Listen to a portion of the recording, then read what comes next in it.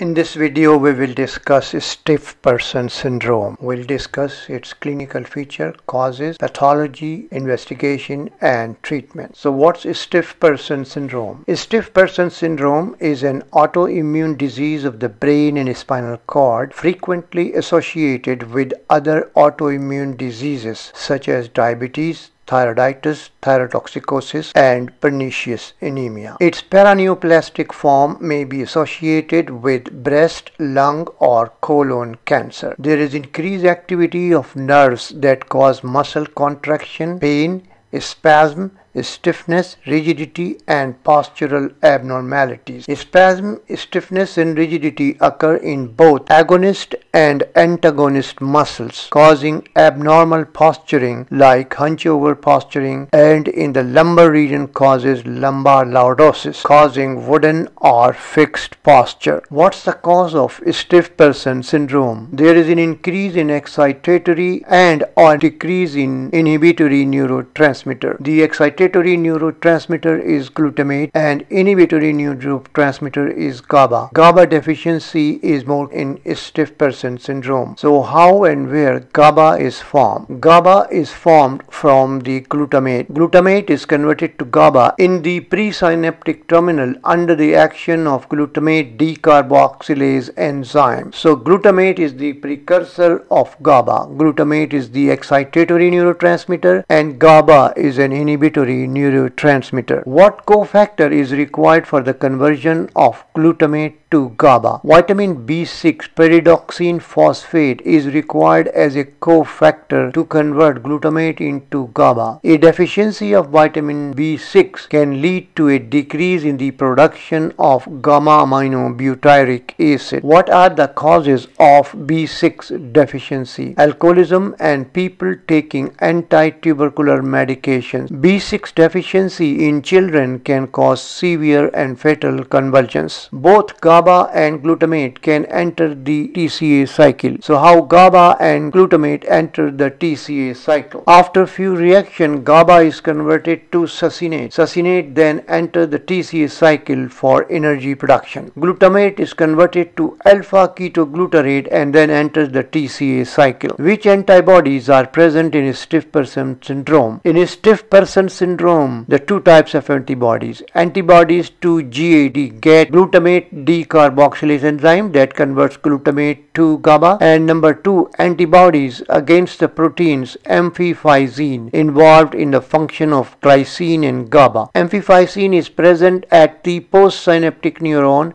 and helps GABA to combine its receptors. What are the triggering factors of stiff person syndrome? Sudden movement, sensory, auditory, and emotional stimuli are the triggering factor for the syndrome. Female to male ratio is 2 is to 1 and usually the age of onset is between 30 to 60 years of age and 50% patients have sphincter disturbances. Which muscles are more rigid in stiff person syndrome? Muscles of the trunk and proximal lower limb muscles are more rigid. What are the psychiatric feature in stiff person syndrome?